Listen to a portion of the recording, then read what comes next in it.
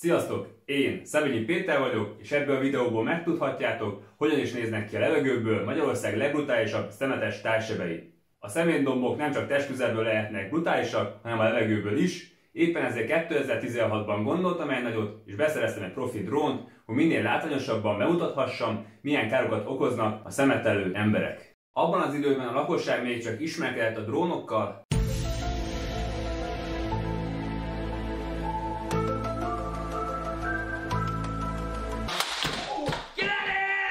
amikor én a már a szemetet fotóztam a levegőből is, mivel a drónok segítségével könnyedén felderíthetőek a szemetes zónák, sőt még a szemetelők levadászására is alkalmas. Felvételek között vannak olyanok is, amiket még először ebben a videóban láthatsz. Ezek a felvételek a magyarországi drónozás szabályozása előtt készültek. De mielőtt neki kezdenék, előtte feltennék nektek egy kérdést. Szerintetek hogyan lehetne egyszerűen felszámolni az illegális ödétőrakásokat? A válaszaitokat írjátok meg kommentben.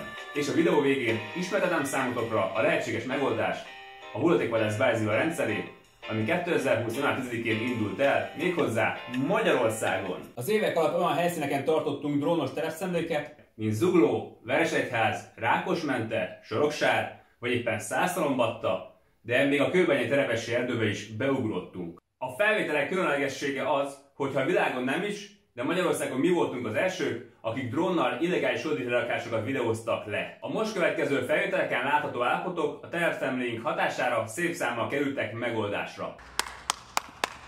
Kezdeném is az első olyan helyszínnel, ahol elsőként szállt fel a hulladékvadászok drónja.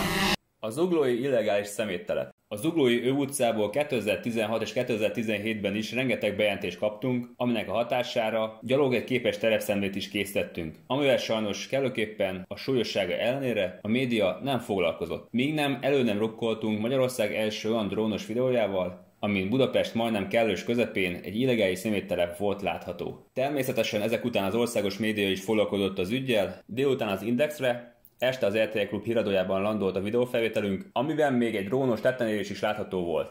A probléma kialakulásának okai pofátlanul egyszerűek voltak, akik nem tudták leadni a hulladékukat az FKF hulladék udvarban, azok egyszerűen telep háta mögé az erdőbe tették le, ahol hajléktalanok kértek azért pénzt, hogy ott a hulladékukat leteessék. A helyszín közvetlenül a Füredi utcai FKF hulladék udvar mögött helyezkedett el, nem messze a Füredi utcai lakótelep és a NAV igazgatósága mellett, a 16. kerület határán.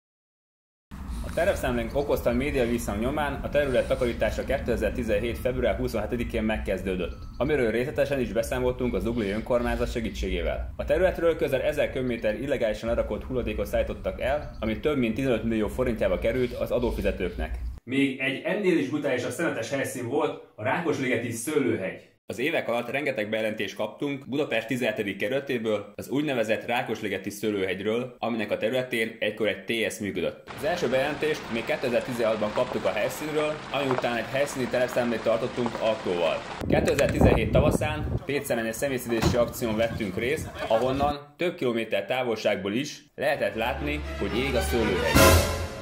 Fogtuk magunkat, kocsiba ültünk, és helyszíni tudósítást tartottunk. A helyszínen érve az égő mezőt és a lángokat oltó tűzoltókkal találkoztunk. A terület tulajdoni viszonyai sok éven át nem voltak rendezve, viszont a gazdátlan területre ismertelenek folyamatosan illegálisan hulladékot helyeztek el, amit szinte minden évben több alkalommal is kigyulladt, vagy nemes egyszerűséggel felgyújtották ezzel veszélyeztetve a környező ingatlanok épségét és az ott lakók egészségét. Még ebben az évben egy drónos terepszemle alkalmával megörökítettük az ott látható sokkoló állapotokat, ami azóta is mély nyomot hagyott bennünk. Ezek a felvételek még sehol sem voltak láthatóak. A szemetelők nem csak a mezőkre, hanem az épületekbe is hordták a hulladékot, amiket az épületekkel együtt rendszeresen felgyújtottak.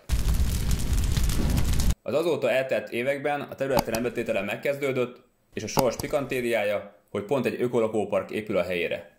Volt olyan helyszín is, ahol nem csak a hulladék lerakása, hanem annak elégetése okozott komoly környezetszennyezési problémát. Veresegyház hulladéktüzei. Több bejelentést kaptunk arról, hogy Veresegyház Ivacs városrészén, önkormányzati területen, Natura 2000-es területek szomszédságában több éve illegális hulladék égetés folyik. Az ott lakó emberek kellemetlen, szúrós szagú fűsre panaszkodtak, továbbá, hogy az állataik, kutyák, cicák elpusztultak daganatos megbetegedésekben, sőt egyre több a környéken a beteg ember is. Éppen ezért a területen készítettünk egy drónfelvételt, ami visszaigazolta a hulladékégetés tényét. Felvétel publikálása után a levegő munkacsoport is terepszemlét tartott a helyszínen, akik megállapították, hogy az égetés teljes egészében szabálytalan volt. Ezek után a kialakult állapotokkal a Népszava és az ATV is foglalkozott behatóbban. 2011 óta egészen mostanáig a terület teljesen megváltozott, és Natura 2000-es védettségű területek határolják. Videójuk a kitüntetett értékű élővilágra irányítja a figyelmet. Összegyűjtöttünk fa és zöld hulladékot, és ezt meggyújtottuk. Erre vonatkozóan engedélye rendelkeztünk. Utóbb kiderült, hogy a környezetvédelmi hatóság nélkül ilyen tevékenység nem végezhető. Az információink szerint a területen szabálytalanul folytatott hulladékkezelés miatt 500 ezer forint bírság, míg a levegő tisztaság védelmi eljárás kapcsán 25 ezer forint bírság terhelte az önkormányzatot és ezen keresztül az adófizetők zsebét. Korábban a Terebesi erdő mindenki számára elérhető szemetes részéről már sokat beszéltem, de mi volt az erdő mélyén? Na arról még nem. A kőbányai Terebesi erdő egy drón szemével. Kőbányi Terevesi utcában tartott teremszemléinkről már beszéltem a Brutális Szemétdombok Magyarországon című videómban. Mostalan felvételeket mutatok, amit még sehol se láttatok.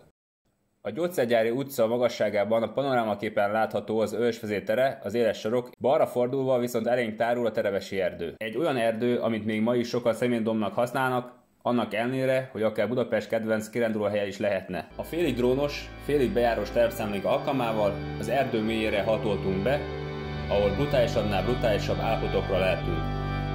A képek magukért beszélnek, szerintem nem is fűzök hozzá kommentet.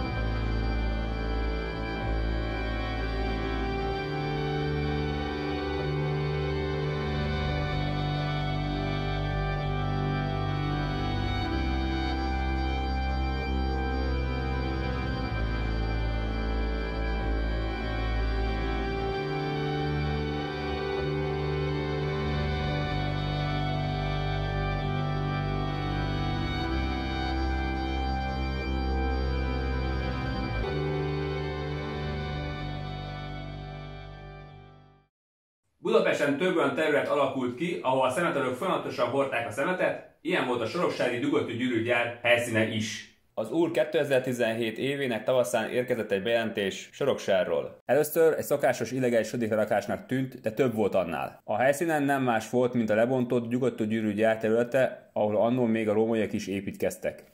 Ezért az előző videóból megismert, egy igazi helyszínelővel ellátogattunk a helyszínre. A drónos tervszemlénk alkalmával a kórházi pelenkától a komplet fürdőszobái minden megtalálható volt a 23. kerület legszemetesebb ingatlanán. A több tonna illegálisan lerakott hulladék hosszú évek gyümölcse volt, aminek illegális deponálása zavartalanul zajlott a Millennium telep, Soroksár és egyben Budapest legdéli kerületi részén a Rászkevé Duna mellett. A területen nem csak a szemét okozott problémát, hanem a szemét által bemozott patkányok tetemes mennyisége is. Ezt a nyilvános önkormányzati testületi dokumentációban is leírták. A terület az akkori információink szerint magántulajdonban volt, de ennek ellenére a helyszínnel a tulajdonos nem foglalkozott. Viszont az RTL Klub híradója annál inkább, hiszen felkeltette a figyelmüket a felvételünk, amely kapcsán a helyszínen egy tudósítást is tartottak velünk. A területről készült terepszemlénk és a nyilvánosság hatására a terület takarítása és elkerítése is megtörtént. Ezek után azt gondolhatnánk, hogy a szemét áradatnak már sosem lesz vége. De van egy jó hírem, vége lehet. Ha most tényleg összefogunk a környezetünk megóvása érdekében, akkor végre felszámolhatjuk az emberek által alkotta társebeket, az illegális hulladéklerakásokat. Több évnyi szakmai és önkéntesi tapasztalat felhasználásával és egy másfél éves fejlesztés hatására megszületett az új, innovatív 21. századi rendszerünk, a hulladékvadász Báj Ziva, ami mindenre lehetőséget ad. Új bejelentési és személyztetési szervezési felület, egyedülálló jutalmazási rendszer, a Zilla Token, adományokat gyűjthetsz területek kitakarítására, sőt, ha neked nincs mindenre időd, akkor olyanokat is támogathatsz, akiknek van. A környezetvédelmi nagyköveteink tevékenységük által nap mint nap több száz vagy ezer embert ösztönöztetnek a környezetünk megóvása érdekében. Segítsd a munkájukat! További részletek a hulladékvadász.hu-n és az új rendszer felületén az ila.io-n. Egy következő videóban bemutatom számotokra az új rendszert működés közben. Így a videó végére egy kérdés. Letöltötted már az új hulladékvadász applikációt? Válaszolítókat írjátok meg kommentben, és ha tetszett a videó, akkor ne felejtsétek el lájkolni, megosztani az ismerőseitekkel, és feliratkozni a csatornámra, mert nélküled nem sikerülhet.